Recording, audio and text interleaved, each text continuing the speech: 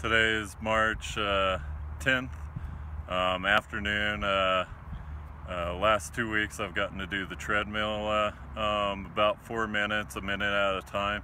Uh, today's my first time outside on the track. I do have my brace on. I've done two laps. I'm going to do uh, two more and make a full mile and just get a little recording. I'm wearing the brace just for a little safety precaution, but hopefully pretty soon I'll just be able to take that off and do more track until I can progress from there.